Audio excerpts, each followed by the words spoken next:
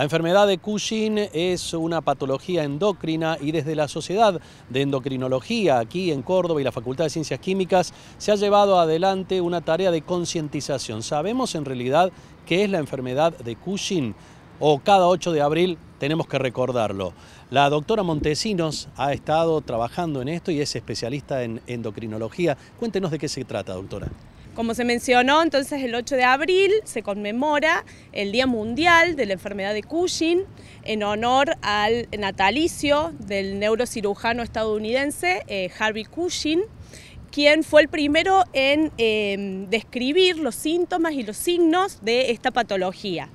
Esta enfermedad es eh, bastante rara, es poco frecuente eh, y se da más en mujeres que en hombres y eh, digamos el rango etario en donde es más frecuente es entre los 20 y los 50 años. Eh, la enfermedad de Cushing se produce por un incremento en la producción de cortisol. El cortisol es eh, un glucocorticoide endógeno que produce el ser humano y es una hormona que es fundamental eh, para la vida, ya que incrementa sus niveles en situaciones de estrés. Por lo tanto, se conoce como eh, una hormona del estrés. Si bien puede generarse el resultado a través de un análisis, cuando nos hacemos un chequeo anual, ¿hay algún síntoma que pueda ponernos en alerta más allá de ir al bioquímico, la bioquímica, que nos hagan análisis? Bueno, ese hipercortisolismo, es decir, ese aumento de cortisol en sangre va a, tener, eh, va a dar lugar a distintos síntomas y signos. Eh, como por ejemplo, uno es la cara de luna llena que se llama, que es, digamos, una cara redondeada y con, eh, digamos, rosáceas las mejillas. También la joroba de búfalo, que es una acumulación de lípidos o de grasas en, en la parte dorsal. Eh, obesidad mórbida, debilidad muscular, eh, osteoporosis. Eh, también otra de las características son las estrías en el abdomen y también algo muy importante es que trae consecuencias metabólicas que pueden conducir a alteraciones en los lípidos, diabetes, problemas digamos cardiovasculares e hipertensión. Lo que hay que aclarar es que en realidad eh, el hipercortisolismo eh, manifestado en una persona no se manifiesta en todos esos síntomas y signos, entonces hay que tener en cuenta alguno de ellos eh, para empezar a realizar el diagnóstico y consultar al médico endocrinólogo. No es que se van a manifestar todos los síntomas juntos, puede haber alguno de ellos solamente.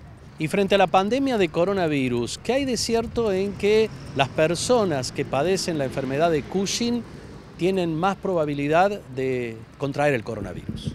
Bueno, en realidad los pacientes que tienen enfermedad de Cushing y otras causas que pueden llevar, porque no es la única que va a llevar a un aumento de cortisol a nivel plasmático, em, tienen mayor probabilidad en realidad a contraer infecciones en general, no solamente ¿sí? el SARS-CoV-2, como en este momento, sino que cualquier infección viral o bacteriana.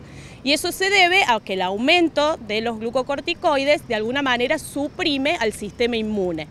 Y por otro lado, es eh, fundamental tener en cuenta que se ha visto que esta infección se da eh, de alguna manera más severa en aquellos pacientes que tienen comorbilidades como la obesidad, diabetes hipertensión y como mencionamos anteriormente, estas, estos síntomas y, signos se encuentran ¿sí? presentes en la enfermedad de Cushing. Entonces, eh, los pacientes con enfermedad de Cushing tienen que tener en cuenta, eh, como todos en, este momento, todo lo que es la higiene y, por supuesto, el distanciamiento social y todas las pautas eh, que tenemos actualmente. Por eso será que forman parte de los grupos de riesgo y han sido de los primeros en vacunarse las personas con morbilidad.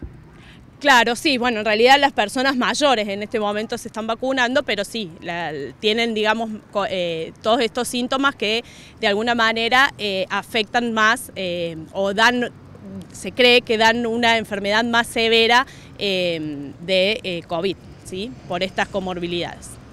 Y otra cosa que me gustaría aclarar es que de alguna manera el médico endocrinólogo es el que va a ver los síntomas, que como mencionamos no pueden ser alguno de ellos, pero el rol del bioquímico también es fundamental para poder hacer el diagnóstico determinando ese aumento de cortisol en sangre y en orina y también tiene herramientas para poder conocer la causa de ese aumento de cortisol.